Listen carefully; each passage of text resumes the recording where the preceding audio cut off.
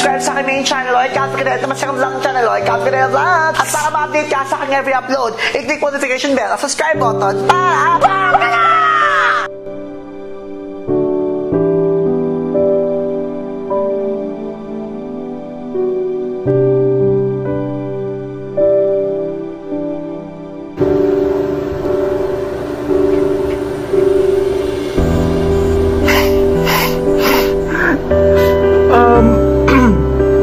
Sorry, so we got the news um,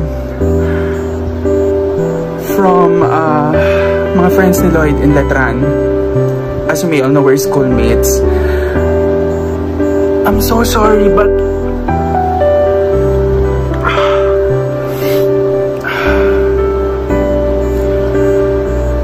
let's pray for Lloyd. Let's pray for let's pray for his soul. Um, this is very uh, ang hirap tanggapin. Ang hirap tanggapin kasi napakabuting kaibigan ni Lloyd sa amin.